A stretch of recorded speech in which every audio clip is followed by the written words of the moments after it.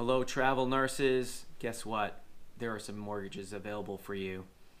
Now, one of the things that is unique about a travel nurse versus a nurse that might work in a hospital is oftentimes travel nurses earn their pay as a W 9 or 1099 employee. And uh, that changes things because um, you may be writing off a lot, writing off gas and car expenses and other expenses uh, legitimately off of your taxes, which might mean you have a, a lower um, uh, net income versus someone who's being paid W 2.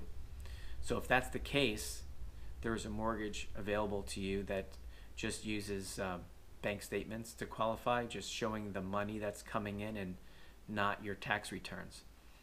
If you're a travel nurse and you are W 2, then that's that'll help too because you can just qualify like anybody else would with a W 2 income.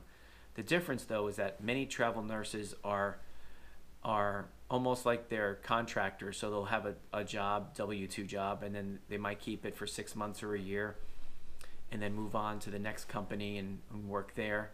So if you're a travel nurse that has changed jobs within the past two years and you, you're afraid you might not qualify because you've changed jobs, then there's help for you and we can help you with that. Um, as long as your income has been stable over the last couple of years um, and it hasn't declined significantly, uh, you can definitely get approved for a mortgage. So if you're a travel nurse and you want to get a quote, just follow the link down below in the uh, first pinned comment and also the description and we'll be able to help you. You can ask all the questions you like. You can also ask them down below in the comments if you if you wish there.